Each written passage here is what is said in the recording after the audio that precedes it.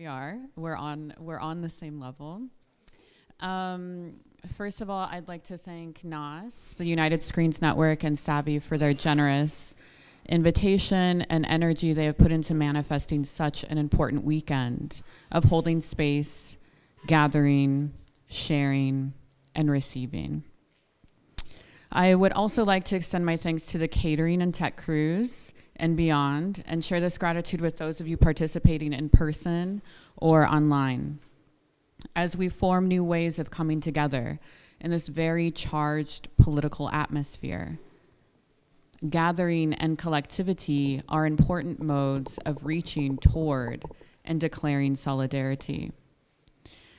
My name is Tiara Roxanne, a name given to me by my father and my mother.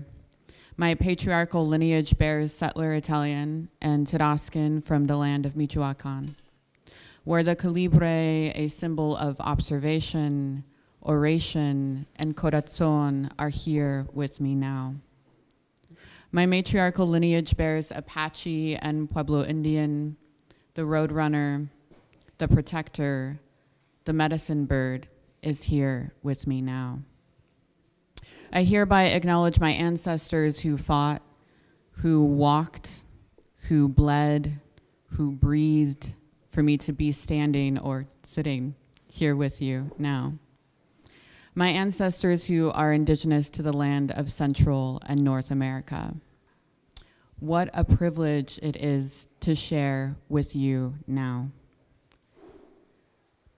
Indigenous First Nations, Aztecas del Norte, Aboriginal, Indian, American Indian, Mexican Indian, Mexican Indigenous, Mexican, Mesoamerican, Mestizo, Pueblo Indian, Indigenous Native American, Native, Iñupiat, Iñupiaq, Inuit, and Alaskan are all terms that reference pre colonial peoples as well as those who have long term ancestry within the North Canadian Arctic region, Canada, and the Americas. This is not to claim that the term indigenous and the listed referential identities alongside are one and the same. It is to state that they are all pre colonial beings with present day long term ancestry located within these regions. Thereafter, the individuals mentioned and referred to throughout this talk using the term indigenous peoples are attributed to those who embody the pre colonial existence belonging to these territories. Indigenous peoples around the globe have been practicing gathering, fellowship, and coming together to collect, to receive and share with one another, with Mother Earth. What I'm saying is that we have so much to learn from indigenous co- cosmologies when thinking together, when gathering together. And now that we are in it together, it being this local and global shift, this cultural upheaval, this what I'm calling digital attunement as Persephone graces the presence of Hades, with the ocean of leaves soon gathering at our feet, symbolizing endings, symbolizing beginnings, sheddings, and transformation. To say, in the least, the way we socialize has changed, the way we remember, how we remember, the way we intimize, the way we attune, how we gather and therefore collect has shifted immensely. We are a marking of history, and digital attunement is something I'd like to briefly think through with you today. We are in it together.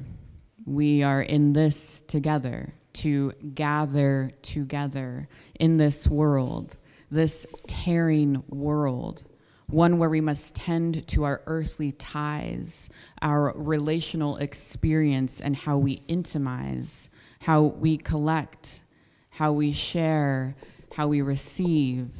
And when I think of together or togetherness or to gather, I remember Fred Moten's words on gathering, where he says, gathering makes a grammar all on its own. He says, to gather together is how we share. He says, we are a practice of gathering. I wonder then, what is the syntax of coming together? What does that look like?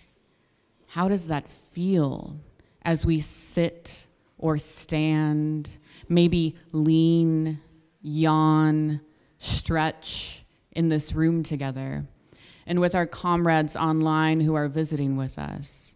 Let us take a moment to find our breath, to breathe into our feet together, to listen, to practice holding space with our breath for each other. Are you ready? One breath in and one breath out. And as I continue to hold space and think through digital attunement and the grammar of gathering, I encourage you to continue to lean into your breath, to keep breathing with intent, to remember the body that you are in and how it is its own ceremony. I remember reading Alexis Pauline Gumbs in Topical Cream earlier this year, and she says something like, Your, our, the body is a practice of ceremony. And in this world, it's easy to forget the body, to remember that we are living ceremonies. And thinking about how Moten says to gather together is how we share. And we are here on this autumn invoking day in Berlin. The sun happens to be shining. And ThinkWell 3.0, a weekend setting us up for collectivity and sharing regarding media and cinema. But what is media and how do we think about media? Now, don't forget your breath, remember? Don't forget to breathe. Don't forget your body. Okay, so back to media. I'd like to extend this grammar of together and how we gather together in person by moving that toward online space between interfaces, platforms, time zones into a digitally attuned practice. One that challenges our physical, human, bodily need for touch, one that challenges how we relate to one another, one that challenges how our bodies remember, how our bodies hold memory, how our bodies are memory, one that challenges how we move our bodies, how we move toward one another, toward the earth toward the recovering earth, the breaking soil, the tearing earth? How do we move with care, instilled and transmitted between interfaces? How do we share between territories and now digital borders? How do we continue the practice of gathering and caring? How do we remain emotionally a present for one another? How do we listen across digital borders? I think of my heritage and the violence of colonialism embedded within history, and now through technology, how our tongues were taken, how our land was removed, how our bodies were named and displaced. And I remember nature.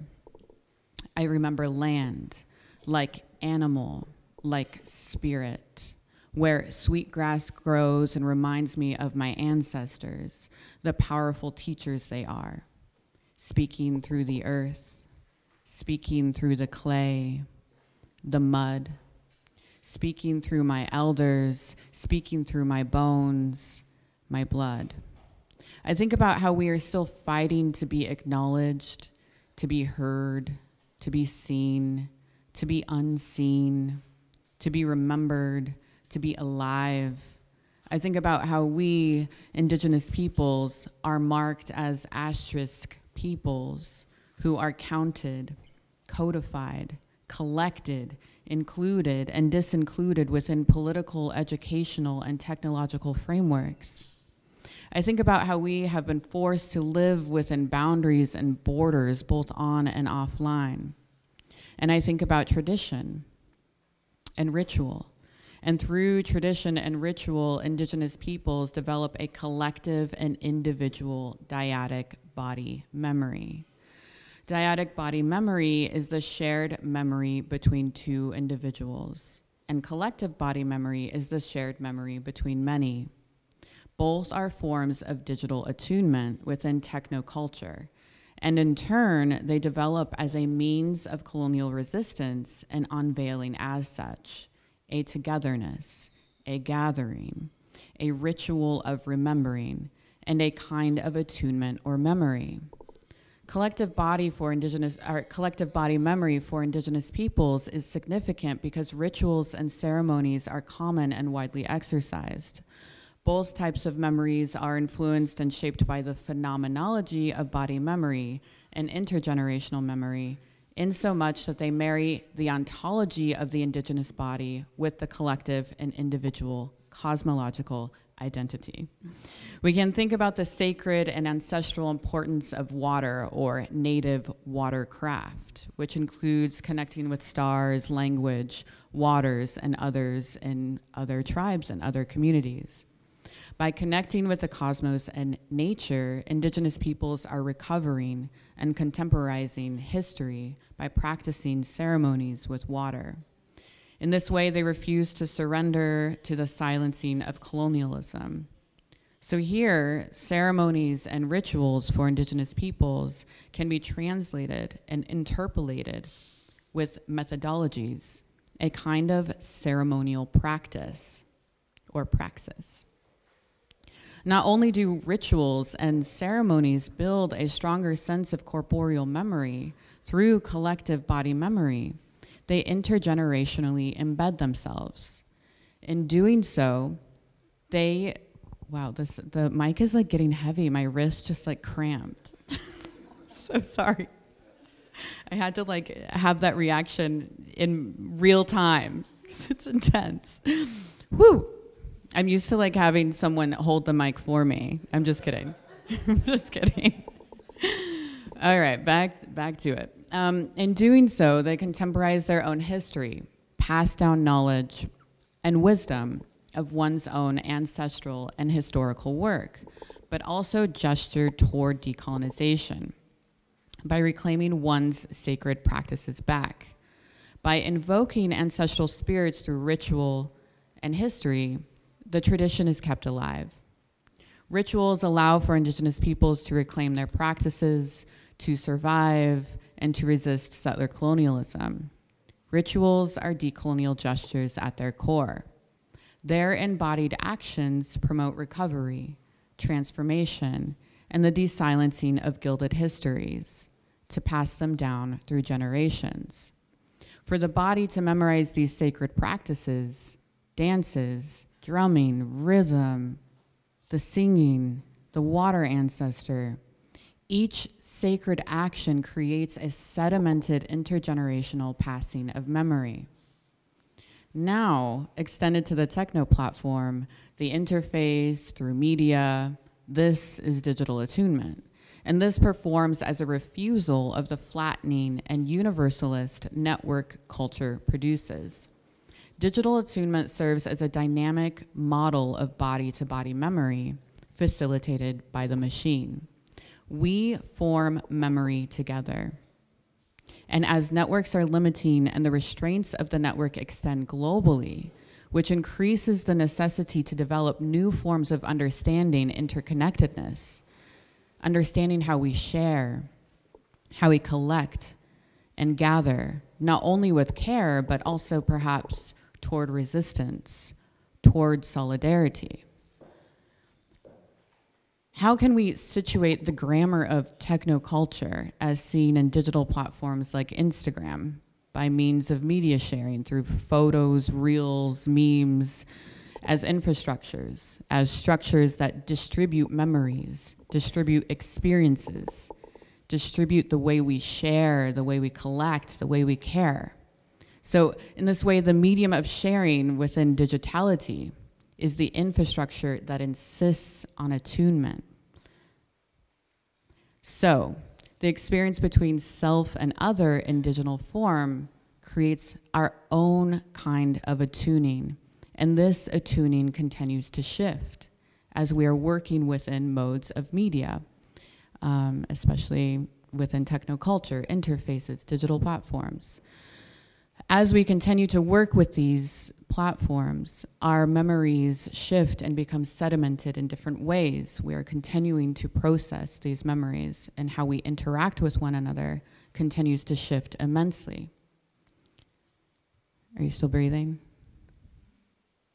So now to go back to Fred Moten's grammar of together or togetherness, I want to ask how we can inscribe our own rituals, how to develop our own daily practices of togetherness, sharing, collectivity, how our bodies are ceremonies that create their own syntax relationally with self and world, with media, with cosmology. I wonder if we can start here now. Did you remember your breath? Did you forget your body? Let's breathe again. One breath in and one breath out. And now, in the essence of attuning, of the, the gathering of grammar, of collectivity, of learning from indigenous peoples and their rituals or practices therein, thinking about how we gather, how when we gather, we create a web of interconnectivity, a network of energetic relationality. We begin to attune subconsciously from our own ceremony, from our own bodies. So let's now re remember those ceremonies. For the next 10 to 15 minutes, I'm going to ask you to move your bodies, to move your ceremonies. So I'm going to ask that everybody stands up if you are comfortable with it, and in the these walls behind you, I have placed a red yarn in a spiral on the floor. And so I would like you to, if you are comfortable with it, you're welcome to pass. Um, but if you're if you're into this kind of grammar of gathering, like please go find a spot on on the um, spiral or the web of red yarn and play with it, touch it, feel it, sense it, breathe with it, and then I'll come join you in like two seconds.